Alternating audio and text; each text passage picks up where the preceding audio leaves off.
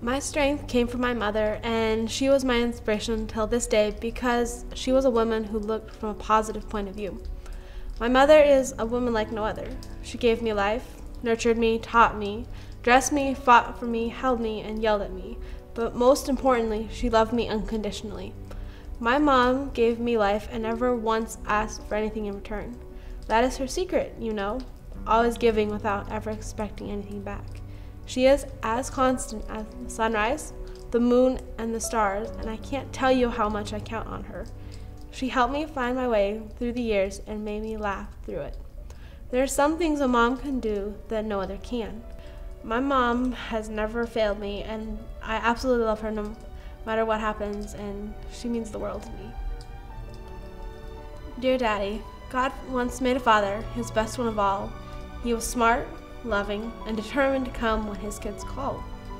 This father could be serious. He would sometimes get mad, but he was forgiving when you did something bad. God gave him to someone, but who in the world could it be? This very lucky person turned out to be me. Dad, you never held my hand when I fell, but instead encouraged me to get up. You never wiped my tears away, but instead made me strong enough to face the world. You never showed me the direct path wherever I was going, but you gave me hints. You never stopped me from making mistakes, but let me find my own ways to rectify them when I didn't listen. You never preached me out or lectured me like I thought, but instead set a living example for me to follow. You never explicitly expressed your love for me, but then I can read it in your eyes anytime I want to.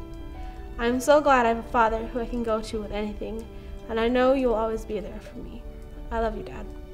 Neo and Selena, grief isn't something you get over, it's something you go through. God saw that you guys were getting tired and a cure was not to be so. So he put his arms around both of you and whispered, Come with me. With tearful eyes, we watched you in different seasons, and we watched you both fade away. Although we loved each of you dearly, we could not make you stay. Two golden hearts stopped beating, sweet hands folded in rest. God broke our hearts to prove to us He only takes the best and only gives the best. Even though you can't be here with us now, I know I'll see you again when God calls the rest of us home. That beautiful sound when Gabriel's trumpet splits the air will be more than worth it. If you were here, you would have your arms around me, and you know that if I had just one wish, it'd be that you didn't have to miss this. You should have been here, but somehow, God still knew better. Megan, Nicole, Lily, David, Jared, Matthew, and Alex, even though I didn't address you guys all separately, you all mean a lot to me in different ways. God has taught me a lot that I didn't really see until I looked back at you. The things you've been through, the different issues.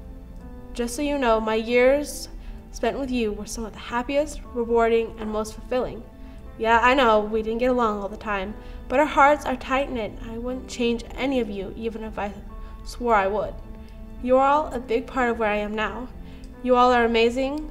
All the giggles, tears, and fights were 100% worth it. And it made me who I am. I love you, my precious chickadees, and the two oldest. Pop and Miko, um, you've given me a lot to work with, and I grew up knowing a lot about stuff that you've taught me. You, you know that things have been rough sometimes, and always coming to your house was big, bigger blessing to me. From math to tea, through all these things and the different cultures. And if one thing I learned from you was easy and fun to remember, it's that God can always be first in your life. You've given me a desire to go into the world and be a missionary to the other countries and a desire to travel and show the world what it's like to be a missionary and serve God. I love you tremendously and I'm glad I have the privilege of having you as my grandparents.